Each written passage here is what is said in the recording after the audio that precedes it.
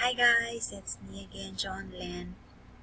So today we will discuss how to export and import just certain pages in WordPress.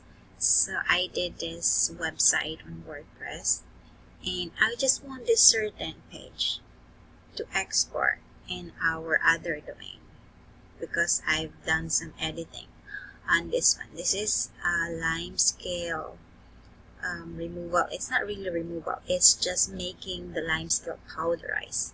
So you will not have hard water on your sink, on your faucet, on your shower head.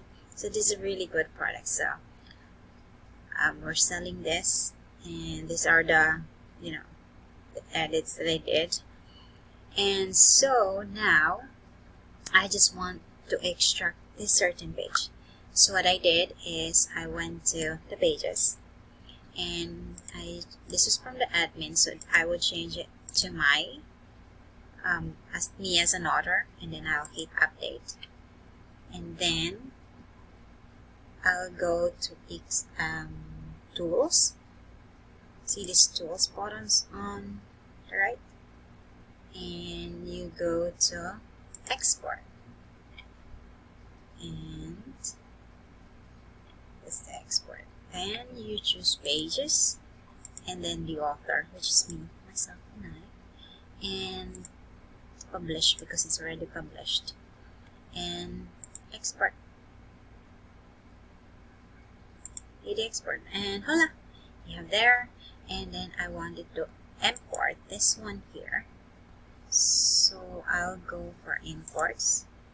Same thing tools import because it's got a different domain. And then I will run importer. And I'll choose the file. Choose the file there. There. And then upload the file.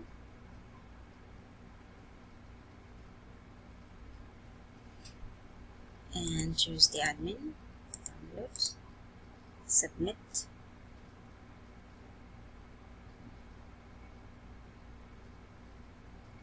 see. Okay imported it's all done. So let's see. On my pages let's see if the pages were there. Aquabion okay here it is. So this is the one I've just downloaded. So congratulations to me. I did it. So I hope that would always answer your questions on how to import a certain pages on WordPress. Thank you guys. See ya. Please like and subscribe at the bottom below. And please like if you like the video. Thank you so much.